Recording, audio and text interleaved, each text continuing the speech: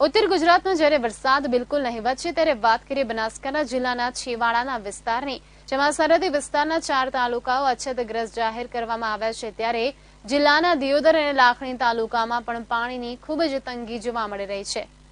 આજકાલ જોવા જઈએ તો અત્યારે એકતા ખૂબ જ ઓછી જોવા મળે છે. પરંતુ દિયોદર તાલુકામાં સરપંચોની એકતા ખેડૂતો માટે આગળ આવે છે અને અછતગ્રસ્ત જાહેર કરવામાં સરપંચો પણ મેદાનમાં આવ્યા છે. અને દિયોદર તાલુકાના તમામ સરપંચો એવા છે, ત્યારે એકજૂથ થઈને ગામમાં વિકાસ પણ કરી રહ્યા છે. અને સાથે સાથે તાલુકાની સમસ્યાઓની સરકાર સુધી વાત પહોંચે તેવા પ્રયત્ન પણ કરી રહ્યા છે. સરપંચોનું કહેવું છે કે જરૂર પડશે તો ગાંધીનગર પર જઈશું અને દિલ્હી પર જવું પડશે તો અમે તૈયાર છીએ. સરપંચોને આમ તો મને બે દિવસ પહેલા જ, ભાઈ ઈશ્વરસિંહ જ્યારે સરપંચો ત્યાં મળ્યા હતા, તે દિવસે જ વાત કરી હતી. એટલે મેં આપણા વિસ્તારના સરપંચો એ જનતાના પ્રતિનિધિ છે, એટલે સમગ્ર દિયોદર તાલુકાનો જનતાનું પ્રતિનિધિત્વ કરતા દિયોદર તાલુકાના સરપંચોની જે લાગણી છે, એ પ્રજાની લાગણી છે અને લાગણીને મેં રાજ્ય સરકાર સુધી પહોંચાડી છે અને આજે ફરી મને રૂબરૂ મળ્યા છે. તો હું સરકારને પૂરો પ્રયત્ન કરીશ કે સરપંચોની માગણી અસરગ્રસ્ત દિયોદર તાલુકોનો સમાવેશ થાય એના માટે પૂરો પ્રયત્ન આજે તમામ સરપંચ એક થઈને પૂર્વ રાજ્યમંત્રી કેસાજી ચૌહાણને આવેદનપત્ર પણ આપ્યું હતું અને ખેડૂતના અનેક પ્રશ્નોને હલ કરવા માટે ભલામણ પણ કરી હતી. જગતનો તાત અત્યારે પરેશાન થઈ ચૂક્યો છે. કારણ કે બનાસકાંઠા જિલ્લો એકદમ અછતગ્રસ્ત જિલ્લો કહેવામાં આવે છે. અત્યારે કારણ કે બે વર્ષ બે વર્ષ જે અગાઉ પંદર અને સત્તરમાં જે પૂર આવ્યું, ત્યારે એક વિનાશક પૂર આવ્યું હતું, ત્યારે પણ આ જિલ્લાને ખૂબ જ તકલીફો પડી હતી. ત્યારે આ વખતે બિલકુલ વરસાદ નહીવત છે. ત્યારે દમા તમામ ખેડૂતો જે જગતનો તાત કહેવા છે, ખૂબ જ પરેશાન છે. પાણી વિના અત્યારે જગતનો તાત તાત તરફડી રહ્યો છે. ત્યારે સમગ્ર દિયોદર તાલુકાની વાત કરવામાં આવે તો ચાર તાલુકા જિલ્લાના જે જાહેર કરવામાં આવ્યા છે. તો ચારે ચારે બાજુ ચાર તાલુકા છે અને વચ્ચે દિયોદર સેન્ટર આવે છે. છતાં લાખણી અને દિયોદરને જાહેર કરવામાં નથી આવ્યો. ત્યારે દિયોદર તાલુકાની એક સરપંચોની કમિટી બની છે અને એ કમિટી આજે પૂર્વ રાજ્યમંત્રીને રજૂઆત કરવા માટે આવી છે કે આ તાલુકાને અછતગ્રસ્ત જાહેર કરે. ત્યારે દિયોદર તાલુકાના તમામ સરપંચો આજે મારી સાથે જોડાઈ ચૂક્યા છે. તો હું અ, અનેક સરપંચોને પૂછીશ કે જ્યારે આપ પૂર્વ રાજ્યમંત્રીને ભલામણ કરી છે અને આજે જે પાણીની અછત છે જે પાણી છોડવા માટે અથવા તો જે અછતગ્રસ્ત જાહેર કરવા માટે જે આપને અરજ કરી છે તો એ બાબતે આપ શું કહેવા માગો છો? આજે આપણે પૂર્વ મંત્રી સાહેબ કેસારી ચૌહાણ સાહેબને જ્યારે મુજરુ ગામે બોલાવી અને બધા સરપંચોએ એમની જોડે ચર્ચા કરી છે અને ગામમાં જે ગામના તળાવો છે એ ગામમાં તળાવો ભરાય સુજલામ સુખલામમાં પાણી છોડાય. અને આ દિયોદર તાલુકો જે આજુબાજુના તાલુકાઓ તમામ અછતગ્રસ્તમાં લેવામાં આવ્યા છે અને એને જે અન્યાય થયો છે, એનું અમને જે તમામ સરપંચો સાથે મળી અમને અમને ન્યાય મળે અને આ લોકોને, જે આ વિસ્તારના લોકોને બધાને પાણીની વ્યવસ્થા થાય. આ પણ એક સરપંચ છે. અને આ જે પૂર્વ રાજ્યમંત્રી અને અત્યારે ચાલુ બનાસકાંઠા જિલ્લાના ભાજપના પ્રમુખનું પોતાનું મૂળ વતન કહેવાય છે.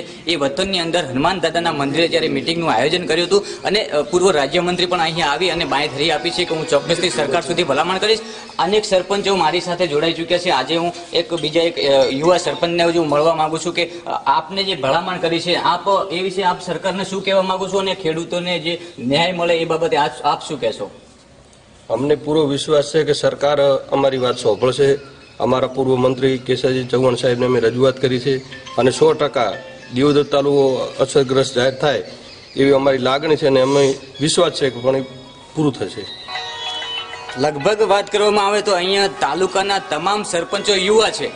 અને પૂરજોશમાં વિકાસના કામો કાર્ય કરી રહેલા છે. અત્યારે અમુક કેટલાય સરપંચો એવા છે કે એક એક વર્ષ જ થયું છે ચૂંટાયાના છતાં પણ ગામમાં અત્યારે આપણે જોઈ શકો તો વિકાસના કાર્યો ચાલુ છે. તો યુવા સરપંચો છે, તો યુવા ધન જે દેશની અત્યારે જે જાગૃત જનતા છે, જે યુવાનો ઉપર જે ભરોસો મૂક્યો છે એ અત્યારે સાબિત થઈ રહ્યો છે. તો આપ આ જે સરપંચોની જે કમિટી બની છે, એમાં જે પ્રમુખ બનાવવામાં આવ્યા છે, હું આપને એમને મુલાકાત કરાવીશ કે આપ જે અત્યારે જે વાતાવરણ છે, જે વરસાદ બિલકુલ નહીવત છે અને ખેડૂતો પૂરેપૂરો પરેશાન થઈ રહ્યો છે ત્યારે આપ શું કહેવા માંગો છો અને સરકાર પાસે શું અપેક્ષા રાખો તમામ સરપંચોનો અમે આજ સાથે મળીને માનનીય પૂર્વ મંત્રી શ્રી કેસાજી સાહેબને અમે મળ્યા અને રજૂઆત કરી કે આ દિયોદર તાલુકાની અંદર પશુઓનો ઘાસની મોટી તંગી ઊભી થઈ છે અને અસરગ્રસ્ત તાલુકો જાહેર થાય અને સુજલામ સુફલામની અંદર રાજ્ય સરકાર પાણી છોડાવે અને આજુબાજુના ગામોનો તળાવ ભરાય એવો મુખ્ય પ્રશ્ન છે ને એમણે અમને અસરગ્રસ્તમાં ધરી આપી છે હું સરકારને રજૂઆત કરીશ. અને એનો જલ્દી નિકાલ થશે એવી અમને આશા છે. એક બાજુ કિસાન સંઘ પણ આ રસ્તે જઈ રહ્યો છે બાયો ચડાઈ રહી છે સરકાર સામે. ત્યારે અત્યારે હવે સરપંચોની પણ એક મિટિંગ તમામ સરપંચો એક એકજૂટ થઈને જો આગળ કાર્યવાહી કરે તો આપને શું લાગે? સો ટકા અમને સફળતા મળશે. એમને એવું આશીર્વાદ એમણે આપ્યા જ છે કે હું સરકારને સો રજૂઆત કરીશ ને સરકાર અમારી વાતને ધ્યાને લેશે એવું અમને આશા છે. આ બધા તમામ સરપંચો જોડે વાતચીત થઈ છે. ત્યારે આપ જોઈ શકો છો કે મારી સાથે એક વડીલ સરપંચ છે જે ખેડૂત છે, અત્યારે આપ જોઈ શકો છો ખેડૂત કેટલો પરેશાન છે. જે સરકાર સુધી રજૂઆત કરવા માટે આજે ગામે ગામ જે મિટિંગો યોજાઈ રહી છે અને જે ભરોસો મૂક્યો છે સરકાર ઉપર, આપ શું કહેવા માગો? સરકારને શું સંદેશ આપવા માગો આ દિયોદર તાલુકાના સરપંચોની કમિટી મળી અને અમારા દરેક સરપંચની એક જ માંગ છે કે અમારો વિસ્તાર એકદમ ખેડૂત. અમે ખેતી આધારિત વિસ્તાર છે અમારો અને અમારા વિસ્તારની અંદર તમામ મતલબ સો ટકા કહી શકાય જે જનજીવન છે, જે પબ્લિક છે ખેતી આધારિત જીવન છે. અમારું તમામ લોકોનું દિયોદર તાલુકાનું જીવન છે ખેતી આધારિત જીવન છે. આ સાલ બિલકુલ ઝીરો ટકા વરસાદ કહી શકાય એવો વરસાદ છે. તો અમારો દિયોદર તાલુકો અસરગ્રસ્ત લેવો જોઈએ એવી અમારી સરકાર પાસે માંગણી છે. જો સરકારને ખેડૂતને જીવાડવો હોય છે, તો હંડ્રેડ પર્સન્ટ ખેડૂતને એને સહાય આપવી પડશે. એ અમારી માંગણી છે. આપ જોઈ શકો છો, ખેડૂતની સરપંચ પણ ખેડૂત જ છે, એટલે ખેડૂતની એક જ માંગ છે. ખેડૂતની એક જ માંગ છે કે ક્યારે આ સરકાર અમારી રજૂઆતો સાંભળે છે અને કઈ રીતે અમને આ જે અસતગ્ર- અસતગ્રસ્ત જાહેર કરે છે. હવે જોવાનું આવનારા સમયમાં એ રહેશે કારણ કે અગાઉ લોકસભાની ચૂંટણી આવી રહી છે, રાજસ્થાનમાં પાણી છોડાવી રહ્યું છે, કારણ કે વિધાનસભાની ચૂંટણી ત્યાં ચાલી રહી છે. અત્યારે હમણાં જ અહીંયા પૂર્વ રાજ્યમંત્રી આવીને ગયા અને એમણે બાંયધરી આપી છે કે ખેડૂતોનો ચોક્કસ આ પ્રશ્નનો હું સરકાર સુધી પહોંચાડીશ. અત્યારે તમામ સરપંચો, યુવા સરપંચો, તમામ લાઈવ ગુજરાત ન્યૂઝ સાથે જે વાત કરી, આપણે કેમેરામાં જોઈ.